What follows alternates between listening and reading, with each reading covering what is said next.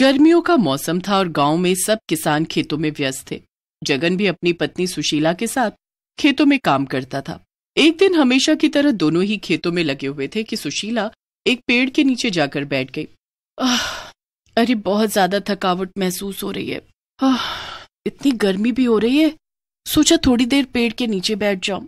देखो तुमको अगर ठीक नहीं लग रहा हो तो तुम घर जाकर आराम कर लो। नहीं नहीं आराम क्या करना मैं ठीक हूँ। सुशीला थोड़ी देर बाद आकर वापस काम में लग जाती है।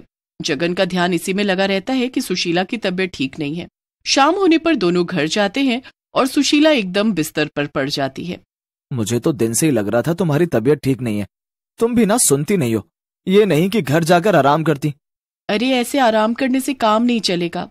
घर चलाना है राजू को पढ़ाना है। पता है ना घर का खर्च कितने मुश्किल से चल पा रहा है। कोई नहीं जी करना तो पड़ेगा ही ना। काम नहीं करेंगे तो खाएँगे क्या? जगन उस दिन सुशीला को लेकर बड़ा परेशान हो जाता है। वो बिल्कुल नहीं चाहता कि उसकी पत्नी खेतों में जाकर इतनी सड़ी गर्मी में काम करे, पर उसके पास दूसरा और कोई काम भी तो नहीं होता, जो सुशीला कर सके। बस ऐसे ही सब चल रहा होता है। सुशीला की तबीयत दिन पर दिन ढीली होती जा रही थी और घर में बहुत ही तंगी थी। फिर एक रात जब सब सो रहे होते हैं तो उस गाँव में एक चुड़ैल आ जाती है, जिसके पास एक भैंस होती है। वो अपनी भैंस को लेकर पूरे गाँव में घूम रही होती है। आहा मैं तो इतनी थक गई हूँ आज। एक काम करती हूँ, इसे यहीं बाँध देती हूँ और थोड़ी देर बाद आकर इसे ले जाऊँगी। यही सोचकर चुड़ैल उस भैंस को सुशीला और जगन के घर के बाहर बांधकर चली जाती है। अब थोड़ी देर बाद राजू को बड़ी तेज प्यास लगती है। वो अपनी माँ को उठाने लगता है। बेटा, मैं बहुत थकी हुई हूँ, तू जाकर ले ले। राजू खुद ही पानी लेने चला जाता है कि फिर तभी उसकी नज़र उस भैंस पर पड़ती है जो उसके घर के बाहर एक खूंटे से बंधी होती है। अब राजू उस भैंस के पास जाता है। भैंस राजू को बड़े ध्यान से देखती है और अपना सर उसके पास लाकर उसे प्यार करने लगती है। राजू बड़ा खुश हो जाता है। राजू जल्दी से अंदर जाकर अपनी माँ को उठाता है, पर वो नहीं उठती। इसके बाद वो अपने बाबा को उठाता है। जगन जाकर देखता है तो सच में वहाँ उस चुड़ैल की भैंस खड़ी होती है। जगन इधर उधर देखता है कि शायद जिसकी वो भैंस है वो वहीं कहीं हो, पर उसे आसपास क्या दूर दूर तक कोई नहीं दिखता। जगन भैंस के पास जाता है तो भैंस सर हिलाकर उसे प्यार करने लगती है। अरे ये भैंस तो बड़ी समझदार है। जगन उस भैंस के सिर पर हाथ फेरी रहा होता है कि तभी उसकी नज़र भैंस के पैर पर पड़ती है जिसमें की चोट लगी होती है और खून बह रहा होता है। अरे इस भैंस को तो चोट लगी हुई है।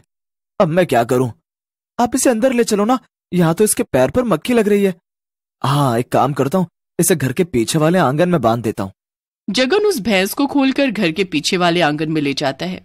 इतने में सुबह की थोड़ी रोशनी होने लगती है और सुशीला भी उठकर आ जाती है। अरे आप लोग यहाँ क्या कर रहे हो? और ये भैंस कहाँ से ले आए? लेकर नहीं आए कोई हमारे आँगन में बाँध गया है। और देखो इसके पैर में कितनी चोट लग रही है। अरे हाँ आप हटो इसे मैं साफ़ करके इस पर हल्दी लगा देती हूँ। इससे ये जल्दी ठीक हो जाएगी। सुशीला पानी से भैंस के पैर को अच्छे से धोती है और फिर उस पर हल्दी लगा देती है। उसके बाद वो रसोई से उसके लिए रोटी लेकर आती है। भैंस रोटी खाकर आराम से सो जाती है।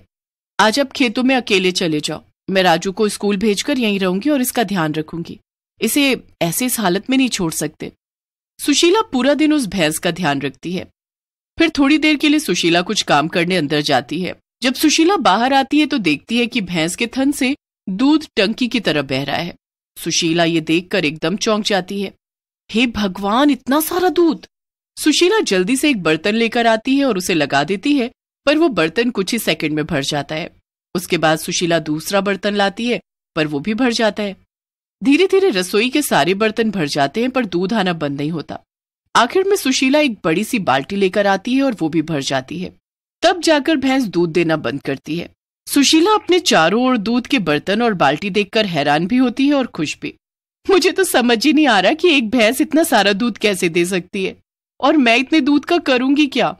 सुशीला वहाँ से चली जाती है और बार बार दरवाजे पर जाकर जगन का इंतज़ार करने लगती है।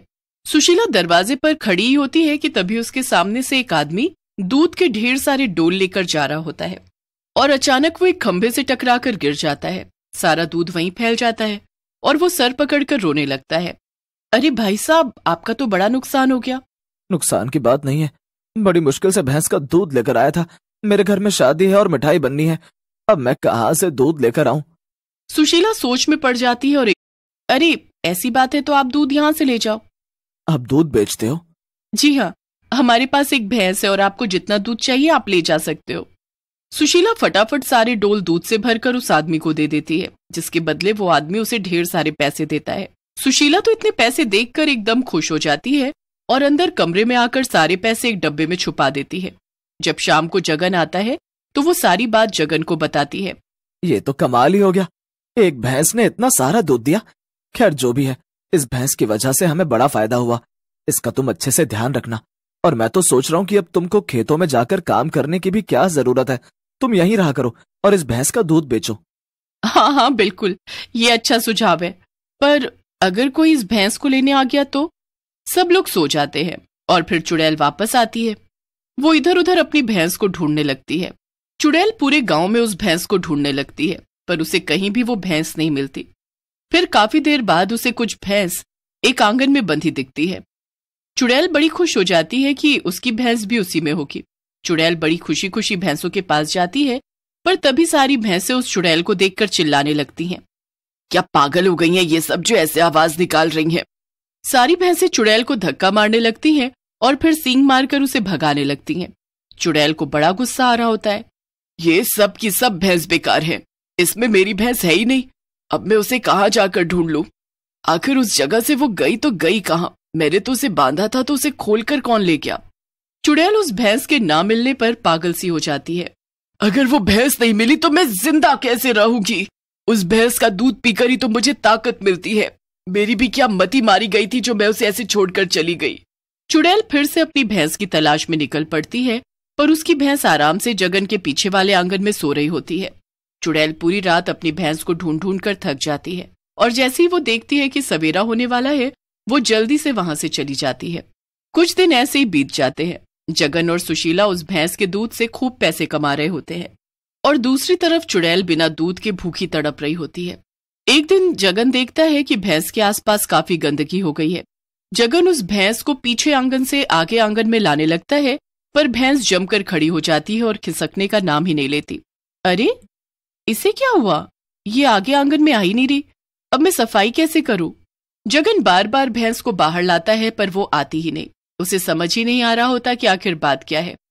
वो जैसे तैसे करके उस भैंस को आगे आँगन में बाँध देता है और एक शादी के लिए निकल जाता है। अब उस रात भी चुड़ैल अपनी भैंस को ढूंढ रही होती है।